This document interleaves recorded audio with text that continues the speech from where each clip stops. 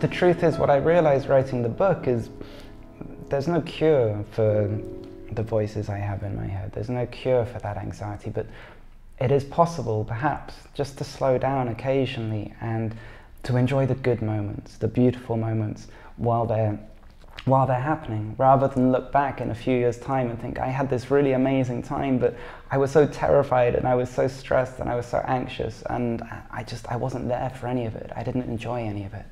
So fire on all sides, it's kind of a, I hope, a kind of slightly wonky roadmap from you know, the madness of touring and traveling and performing from memory and critics and press and bad pianos and lonely hotel rooms and delayed flights and another taxi and shitty pianos and, and everything else.